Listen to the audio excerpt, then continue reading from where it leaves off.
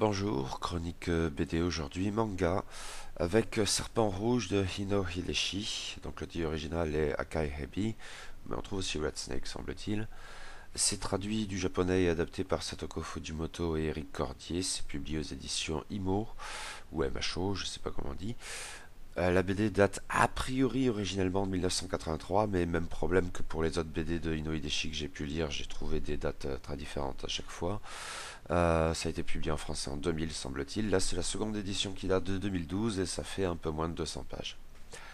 Après Panorama de l'enfer et l'enfant insecte, et donc quelques embrouilles de datation, troisième virée dans l'univers malsain de Hino Hideshi avec Serpent Rouge, qui date a priori, je dis bien a priori, de 1983, ce qui en ferait a priori, je dis bien a priori, une BD contemporaine de Panorama de l'enfer. Cela se tiendrait, j'imagine, parce que le style est très proche graphiquement comme dans certains des thèmes illustrés. Nous adoptons le point de vue d'un petit garçon, pas exactement un héros, qui vit dans une bien étrange demeure aux dimensions palatiales, cernée par une forêt impénétrable et menaçante. À l'intérieur comme à l'extérieur, c'est un labyrinthe, comme dans ces cauchemars éprouvants dans lesquels on erre en boucle, sans jamais de possibilité de s'échapper. Le petit garçon déteste cette maison d'aspect autrement traditionnel, qui lui fait peur. Il aimerait la fuir, mais toutes ses tentatives s'avèrent tristement vaines. Il a ses raisons, mais les plus fortes d'entre elles ne tiennent pas tant à la maison en elle-même qu'à ceux qui l'habitent, la propre famille du petit garçon. Une bande de malades, et comme un écho de la famille du peintre narrateur de Panorama de l'Enfer. Trois générations sous un même toit et là encore une allure très traditionnelle, façade respectueuse qui ne dissimule absolument rien de l'ignominie sous-jacente. Ici, le grand-père incarne l'autorité, hideux vieux bonhomme défiguré par un répugnant furoncle, que soigne quotidiennement sa belle-fille avec des œufs et avec ses pieds. La grand-mère a complètement pété les plombs et se prend pour une poule. Couver ses œufs, voilà la seule chose qui compte pour la vieille peau qui caquette en permanence. Le père, une brute stupide et cruelle, son domaine est le poulailler, son régal, la décapitation des poules ingrates, celles qui ne pondent pas. Son épouse s'en tire mieux, mais elle s'insère parfaitement dans l'ambiance délétère de la maison, en accompagnant d'une certaine manière la folie des autres. Sa relation avec son beau-père est quasi sexuelle. Le petit garçon enfin a une grande sœur, qui l'épie par un trou dans la cloison, le vilain voyeur. La jeune fille tournant à la jeune femme raffole des vers et s'emploie bientôt à explorer les prémices d'une sexualité torturée, ce qui en fait l'héritière toute désignée de ces deux générations de branques. Mais les choses vont mal tourner, oui, encore plus mal.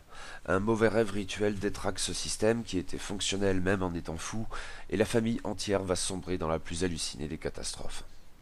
L'effet est assez proche de celui produit par Panorama de l'Enfer. C'est incroyablement malsain. Il y a dans chaque page de quoi se sentir très mal à l'aise. Le virage grand guignol de la BD, et même outrancièrement gore, n'y change rien. Les traits d'humour noir déglingués y participent, et de même le style graphique caractéristique de Hino Hideshi, avec ses dimensions humoristiques et ou super déformes, qui donne tout d'abord une trompeuse impression de naïveté enfantine, et au premier chef ses grands yeux tout ronds qui sont sa marque de fabrique. C'est proprement, salement, fascinant et très très dérangeant. Mais en comparaison avec les deux autres titres de l'auteur que j'ai lus, Serpent Rouge appuie peut-être plus encore ses sensations désagréables en y associant de manière assez franche un contenu charnel, sexuel même, moins frappant sinon absent dans L'Enfant insecte et Panorama de l'enfer. Rien de pornographique au sens fort, mais c'est tout de même saisissant. Ce sont les personnages féminins qui introduisent ce thème, en mettant de côté la grand-mère, mais en relevant qu'elle est obsédée par la procréation à sa manière volaille, mais cette obsession traverse en fait toute la BD, la mère et la sœur se distinguent d'emblée par leurs traits. Elles n'ont rien à voir avec les caricatures que sont tous les autres personnages. Ce sont des femmes encore belles, mais pas à jamais, ou qui le deviennent. Elles sont associées au désir sexuel passablement pervers, passant par un fétichisme glauque ou le voyeurisme. La mère, massant de son pied le furoncle du grand-père pour en faire quotidiennement jaillir le pu, noie ainsi la BD dans les sécrétions corporelles toujours renouvelées, et les gémissements orgasmiques du vieil homme soumis à cette délicieuse torture ne laissent guère de doute quant au sens exact de cette relation. La sœur, quant à elle, évoque d'abord avec ses vers adorés, ensuite avec le très phallique serpent rouge du titre, qui sème le chaos dans la demeure, une obsession masturbatoire typique d'une sexualité qui est en train de dépasser le stade de l'éveil, et elle-même génératrice de chaos plus que toute autre chose, mais qui, en retour, en favorise l'éveil chez le petit garçon voyeur, répugné mais fasciné. Tous ces aspects se mêlent à des tableaux très avec une cohérence marquée qui tire la BD du côté du registre Eloguro. Cet aspect frontal en sans doute n'enlève en tant que tel rien au contenu allégorique ou symbolique du récit comme de ses séquences. La maison est un labyrinthe de chair en même temps qu'un abattoir, et la retranscription matérielle de l'inconscient torturé du petit garçon, avec pour habitant autant de fantasmes obscènes. Elle relève du cauchemar halluciné, un délicieux cauchemar car l'enfant si terrorisé par la folie ambiante y participe avec son désir de ne pas en manquer une miette, dimension au moins aussi importante que ses pulsions destructrices et sans doute plus inconsciemment charnelles. Eros et Thanatos sont dans un bateau et tous deux tombent à l'eau, si c'est bien d'eau qu'il s'agit. Mais le malaise est bien la force de Serpent Rouge. Cette BD ne m'a certes pas surpris, le mot est faible, comme l'avait fait en temps l'incroyable panorama de l'enfer, qui reste celle que je préfère, mais son effet demeure saisissant. Le dessin de Hino Hideshi est absolument parfait et d'un à-propos constant. Si regret il doit y avoir, c'est peut-être dans la relative précipitation de l'intrigue, et de la chute qui n'en est pas vraiment une tant elle est entendue, passer la longue et géniale mise en place consistant en la présentation de la famille de dingue. Ce ne sont alors plus que hurlements et giclées de fluides visqueux, sang et autres, dans une ronde folle et outrancière, qui en rajoute toujours davantage dans l'horreur glauque. Ces pages dont le texte a largement fui, onomatopée mis à part, on les tourne peut-être un peu trop vite, aussi la lecture de la BD ne prend-elle guère de temps?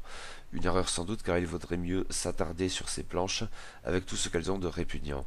L'amalgame de fascination et de dégoût est après tout une clé du travail de Hino Hideshi. Une réussite donc et qui nous le bide avec un brio rare. J'ai préféré Panorama de l'enfer, plus fou encore, et en même temps infusé d'éléments autobiographiques qui parviennent à insinuer dans l'horreur gore quelque chose de douloureusement poignant. Mais Serpent Rouge m'a bien davantage parlé que l'enfant insecte, très bonne BD sans doute, et qui présage de la suite, mais qui demeure au moins visuellement plutôt sage. Serpent Rouge est du côté de la folie pure, charnelle, suintante, et ne manque pas de produire son effet ambigu.